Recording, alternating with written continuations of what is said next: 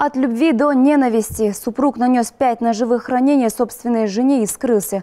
Преступление было совершено на одной из центральных улиц. К счастью, пострадавшая выжила. Сейчас она в больнице. По словам врачей, ее состояние стабильное. Потерпевшая просит сурово наказать мужа, ведь он и раньше угрожал убить ее. Однако пока правоохранители ограничились лишь штрафом.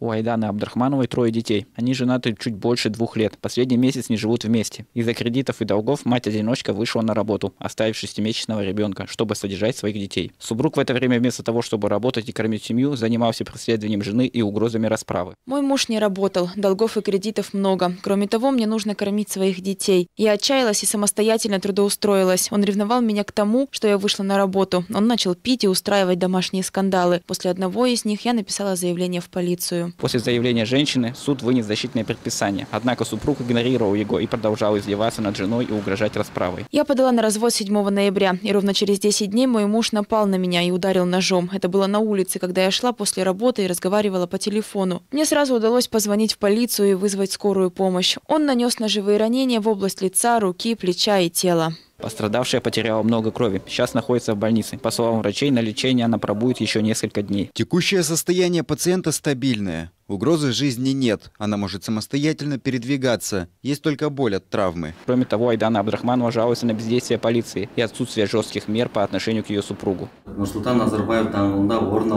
По факту произошедшего на проспекте Нурсултана Назарбаева сейчас начато досудебное расследование по статье 106 Уголовного кодекса Республики Казахстан.